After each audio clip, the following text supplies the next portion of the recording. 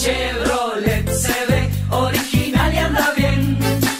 Mirvic Repuestos. Mirvic Repuestos, una vida dedicada a ser tan original como vos. Su Chevrolet se ve original y anda bien. Cerro Largo y G. Mirvic Repuestos. 2901-1675. ¿Cómo te va, Mariano? Muy buenos días. Hola, buen día, ¿cómo andan? ¿Todo bien? ¿Y vos? Todo bien, todo bien, acá, en casa. Bueno, ¿cómo te lleva justamente esta cuarentena? Y bueno, eh, eh, es dura, pero bueno, la estamos, la estamos cumpliendo. Estamos aprovechando estar en familia, eh, que hacía tiempo que no, que no estábamos todos juntos tantos días, y bueno, tratar de aprovecharla de, alguna manera, hacer cosas que antes no podíamos hacer, o cosas que nos quedaron pendientes con, con mi mujer acá para eh, hacer en mi casa, y bueno, entrenando solo, que no tiene nada que ver con el, con el fútbol, pero moviéndonos para no quedar parado, ¿no? Te iba a preguntar también eso. ¿Estás en, en Colonia o en Maldonado en estos momentos? No, no, estoy en, Maldonado, en Maldonado. En Yo me vine a, vi- a vivir, sí, así, hace cinco años acá en Maldonado. Perfecto. Y con respecto al entrenamiento que, bueno, nos comentabas recién que moverte solo es totalmente distinto al entrenamiento diario que haces habitualmente junto al resto de tus compañeros de Deportivo Maldonado. ¿Tenés alguna rutina que te marcó el profe justamente del equipo fernandino o haces algo básicamente de lo que has aprendido a lo largo de tu carrera? No, no, nos han mandado rutina y la estamos, la estamos, la estamos siguiendo. A cada uno está, está haciendo la rutina que le manda el profe para estar en, en movimiento. Pero es solo, eh, el nuestro es un, un juego de equipo y te sirve para mantenerte bien físicamente, pero como te dije, te dije prima, eh, no es nada que ver con el, con el fútbol, ¿no? Mariano, en tu carrera eh, te fuiste muy joven, donde tuviste la oportunidad de estar en Las Palmas, en España, después pasaste por varios equipos de Italia, eh, te recuerdo en el Napoli varias temporadas, este, también el equipo Verona, el, Ba- el Bari, el Leche y después tu vuelta al fútbol uruguayo. Después de tanto tiempo de estar en Europa jugando a primer nivel, ¿no se te dio para volver a un equipo grande? ¿No pensaste que podía llegar a hacer la vuelta, por ejemplo, a Peñarol? Y uno siempre lo, lo, lo pensó, lo pensó, pero no, no, no se dio la oportunidad. Y, sí, como vos decís, yo me fui, me fui joven, jugué, tuve seis meses en Peñarol, seguramente me hubiese gustado jugar eh, más tiempo, pero bueno, no se dio la oportunidad. Y bueno, cuando volví tuve la suerte de, de volver a mi casa y, y vivir lo que viví, que fue algo algo muy lindo también, que es haber salido campeón con, con Plaza, que yo desde los cuatro años jugué ahí, ¿no? Sí, lle- llegaste para hacer historia. Sí, la verdad que estoy marcado por este club, como te dije antes, yo desde los cuatro años jugué ahí, me formaron como persona, como jugador, y viví todos los momentos lindos del club, que, que, que- me ha tocado vivir en el fútbol, eh, ascendí la primera vez, después tuvimos el primer año en la en la A que fue muy bueno con, Diego Aguirre de técnico y bueno después llegar después de tantos años y salir campeón eh, profesionalmente fue algo algo muy lindo ¿no? Mariano, después de haber vivido y de haber jugado tanto tiempo en Italia, ¿cómo estás viviendo desde lejos lo que justamente le está pasando a este país con respecto al coronavirus, la, la cantidad de infectados que tiene y también la cantidad de fallecidos que va presentando día tras día este país europeo? y estoy hablando estoy en contacto con amigos y me dice que es algo increíble. La verdad que es algo increíble lo que están lo que están viviendo. Eh, dice que parece la guerra porque no hay nadie en las calles algo tristísimo lo que están lo que está pasando ahí. Bueno eh, eso a nosotros nos sirve para tomar conciencia que es algo serio esta enfermedad y este virus y, tomar conciencia y quedarnos todos en casa y tratar que esto pase lo, lo, lo más rápido posible pero sí la verdad que ellos están pasando está pasando muy mal están en casa hace casi un mes y, sigue sigue siguen los muertos siguen los contagios y, y está está difícil no ¿Tenés algún conocido o algún amigo que lamentablemente le haya tocado estar infectado de coronavirus o que justamente esté desarrollando esta enfermedad en estos momentos? No, por suerte no, no, no, no, no, no tengo a ninguno de mis amigos infectados. Tengo más amigos más al sur que es más, más suave la, la, la, pandemia, el virus no, no ha llegado tanto, están, están mejor, pero sí, al norte están, están, están muy, están muy bravos. Está sumamente complicado Italia, ¿no? Es de, Italia y España son de, de los países más complicados en Europa y justamente te, te tocó jugar en los dos. Sí, sí, sí, eh, está, está, está muy, muy, muy complicado, como te dije antes. Bueno, yo hace, mis amigos con los que he hablado, eh, están encerrados hace un mes, no salen, dice que eh, salen a tirar la basura y entran, van una vez a la semana a hacer el surtido para para hacer las compras y está está está complicada la cosa. Después de, de lo que nos contaste, de lo que significa Plaza Colonia para vos, este, que pudiste volver, ganaste un torneo de clausura, ganaste un clausura con Peñarol y uno con Plaza Colonia. Dio esa, esa particularidad, parece que los torneos de clausura son para vos. Pero, Sí. eh, ¿cómo se dio la salida de Plaza Colonia Deportivo Maldonado? ¿Era porque querías tener más minutos, porque sea una posibilidad económica, eh, porque no es tener tenido en cuenta por el, por el técnico? No, la verdad que fue, yo cuando vuelvo de Italia eh, me radiqué en Maldonado. Eh, nos gustó la ciudad, nos gustó estar acá. eh, para, yo tengo tres, tres niños y bueno, la educación acá es buena y, y la verdad que no, no- nos encantó. Ya estaba mi cuñada viviendo acá, con mi cuñado que, que es uno de mis mejores amigos y, y nos encantó vivir acá y bueno, cuando volvimos de, de Italia volvimos para para Maldonado, que ya teníamos nuestra casa. Eh, después, bueno, salió lo de Plaza y mi familia quedó acá en Maldonado y yo estaba solo ya en Colonia. Claro. Venía los fines de semana.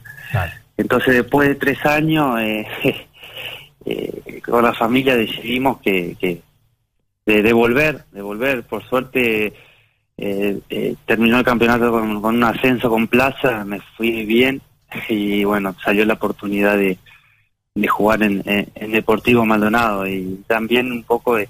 Mi mujer es abogada y nunca pudo ejercer y bueno, para estar al lado de ella y, ella empezó a trabajar, estar yo un poco con, los- con los niños. es momento también de, de otras cosas en la etapa, ¿no? Eh, vos ya estás en una etapa de jugador donde, de alguna manera, vos lo contabas, tu señora sacrificó en parte su carrera, porque es, es la, es la parte que a veces que, que no se ve de la familia de los jugadores de fútbol, ¿no? A veces tenés que sacrificar tu, carrera o, determinadas cosas para, para acompañar a, a- tu pareja, en este caso a vos, y bueno, capaz que es momento también de que ella pueda desempeñarse en lo suyo. Sí, claro, exacto. Yo ya estoy en, los últimos años de mi carrera. Ahora priorizamos la, la, la de ella, como vos decís, ella estuvo siempre al lado mío, no pudo hacer lo que ella estudió, lo que le gusta, y bueno, ahora de a poco se va soltando porque estuvo muchos años sin ejercer, y bueno, ahora eh, con el apoyo de nosotros y de la familia está, está, está volviendo a hacer lo que ella le gusta, y bueno, yo también por suerte tengo la la suerte de que de jugar en un, un equipo profesional casi a los 40 años, la verdad que estoy muy contento.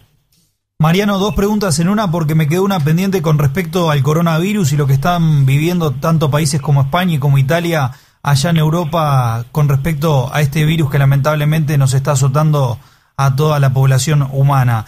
Eh, ¿Qué te dicen tus amigos de Italia y también tus conocidos de, de España eh, con respecto a las medidas que no se tomaron por parte de los gobiernos o por qué se dio esta propagación tan masiva del virus en estos dos países de Europa? Y creo que no tomaron las medidas enseguida, como han tomado acá, creo. Acá eh, en Uruguay enseguida se cerró la escuela, se cerró todo lo, lo, deportivo, todas las aglomeraciones de personas donde hay gente, los conciertos, se cerró todo enseguida, que eso ayuda mucho. Yo creo que allá, en ese sentido, siguieron jugando partidos, hubo partidos de Champions, y la gente, en- lo más que nada, los jóvenes, andaban por la calle y, bueno, eso fue un- uno de los temas que, que, que, fue que hizo proporcionar el, el- el virus para todos lados, ¿no? Perfecto. Mariano, volviendo al tema deportivo Maldonado, eh, ¿cuál es el momento deportivo que, que justamente estaba desarrollando el equipo en lo futbolístico, en lo físico? ¿Cómo se iba adaptando a este regreso después de tantos años a la primera división, teniendo jugadores importantes como vos, de experiencia y de trayectoria, y también, entre otros, César el Picante Pereira, ex jugador de Unión de Santa Fe, de Belgrano de Córdoba, y también con una carrera muy importante que desarrolló a lo largo de todos estos años en la República Argentina?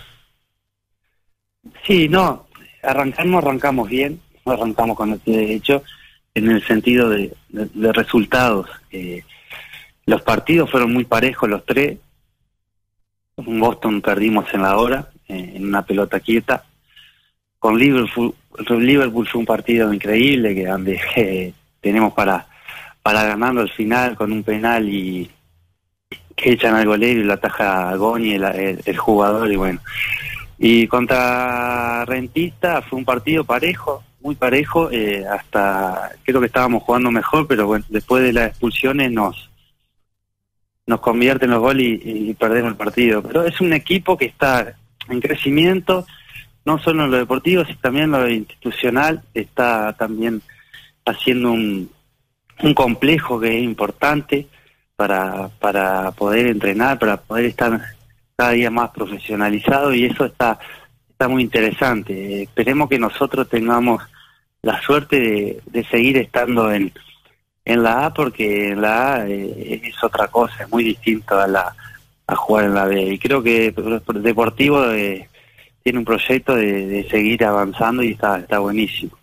¿Qué rol cumple Bogliachino dentro y fuera de la cancha hoy en día? Pues ya con 39 años eh, te vas adaptando, vas cumpliendo otros roles y la experiencia, sobre todo en el fútbol nuestro, donde hay muchos jóvenes, este, debe ser volcada también, ¿no? Claro, claro, yo todo consejo que pueda darle a los jóvenes se lo, se lo voy a dar. Eh, ya me tocó dos veces eh, ser más grande que el entrenador en plaza y, y en deportivo, y bueno, y, con el técnico eh, hablo, hablo bastante eh, y, si me piden consejos seguro que se los que se los que se los doy. Eh, tengo, como decir, tengo mucha experiencia y trato, trato de volcarla adentro de la cancha y si puedo afuera dar algún consejo, siempre lo- lo- los doy, ¿no? Dentro de, de lo que fue tu carrera, eh, en Italia sobre todo, debes de haber sido compañero de muy buenos jugadores, ¿no? Porque en el Napoli en esos cinco años, por ejemplo, tenés que haber jugado con Hamsik y, Sí, y otra gran cantidad de jugadores también. sí, sí, tuve, tuve la suerte de jugar, eh, eh, bueno, de con Hamsik, estuve con eh, la Bessi, que fue de ídolo también, estuve con, bueno, con los uruguayos Alayeta Gargano, eh, Cuagliarella, el hermano de, de Canavaro. Eh, sí, la verdad que fue una, una experiencia eh, divina. Eh, Yo en Nápoles voy en la C y termina, yo termino jugando. Copa, Sí. sí, en la, hasta clasificación en la Copa UEFA Mm. y la verdad que fue fue algo soñado. Para mí fue algo soñado y, y, y- y lo viví, la verdad que muy, muy bien. ¿Seguís manteniendo contacto con, con alguno de estos jugadores que, que vos hacías referencia? Eh, más que nada con Gargano, con los otros eh, soy medio dejado, digamos, y no no no no no, no mantengo mucho mucho contacto. Mariano, cuando vos llegás al Napoli, que comentaste que estaba en la Serie C, que yo también recuerdo de, niño, que bueno, me hablaba mucho del Napoli porque había jugado Diego Armando Maradona y, y también eh, había vivido una etapa gloriosa con ese equipo en Europa en los años eh, 80 y, y principios de los 90. Y ver al Napoli en la C a mí me generaba como, como algo raro, algo extraño, porque me habían hablado muy bien de ese equipo y yo lo veía eh, en la Serie C cuando, cuando me habían hablado muy bien justamente de este cuadro en Italia. Eh, En ese entonces que vos llegas al Napoli, ¿estaba en la C producto de, de la economía del club o, o del presente deportivo? No, no, no, lo habían descendido. Lo habían des- descendido a, a la C por, por la economía de- del club. Entonces tuvo que arrancar de, de la C y bueno, fue ahí que lo compró de Laurentis, que es el presidente actual. Eh, lo compró el año anterior a que yo vaya y ahí empieza toda la, la historia de nuevo de, de este club, que ahora es uno de los clubes, creo que en Italia uno de los más importantes y bueno está en Europa está jugando está jugando bien es un club a, a, a seguir pero sí cuando yo llego eh, no tenían cancha no tenían nada porque era toda una sociedad eh, nueva y de a poquito eh, fue fue volviendo a- al lugar que está ahora no ¿Cuántos años jugaste exactamente en el Napoli? Siete, si no me equivoco. Y, contanos- no yo tuve contrato por por siete y jugué cinco y jugaste cinco. Perfecto. Perfecto. Después saliste a préstamo. Después me fui a préstamo, sí. ¿Cómo es el hincha del Napoli? ¿Cómo lo vive eh, diariamente y cómo vive los partidos?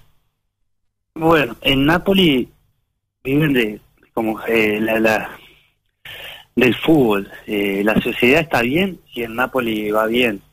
Eh, es un hincha muy pasional. eh, se muere por los jugadores, se muere. eh, a veces hasta eh, son pesados, no es la palabra, pero sí, están todo el día arriba. Si vas a, si te ven en algún lado, se- enseguida se llena ese lugar donde donde está ahí un jugador porque le, le, le encanta el fútbol, viven del fútbol.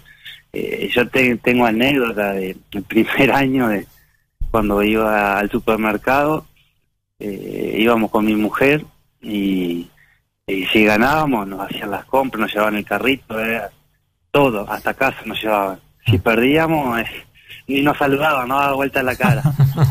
Llegamos, llegamos a ese punto que era, son fanáticos, fanáticos y bueno, cuando vas llegando al estadio, lo ves ahí, es algo precioso porque en la C iban 40.000 personas a ver al Napoli, imagínate la pasión que tienen ellos.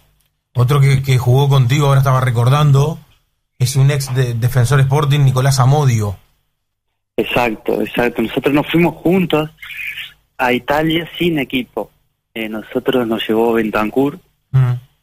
sin equipo y bueno, allá cuando llegamos a Italia, Bentancur y un socio, el socio, él armaba un tipo de pretemporada con jugadores de él y jugadores que no tenían equipo y querían hacer una, tipo le pagaban a él y él alquilaba un, un hotel con cancha, con eh, técnico, doctor, eh, masajista y vos hacías una pretemporada y jugabas contra el equipo de la B, de la C y si a alguno le gustaba podía ir a probar. Claro. Nosotros fuimos así y Nico fue y llegó a ir a probar al Parma estando en la A del Parma. Y yo fui a, a eh, Pescara. También con nosotros fue Germán Domínguez.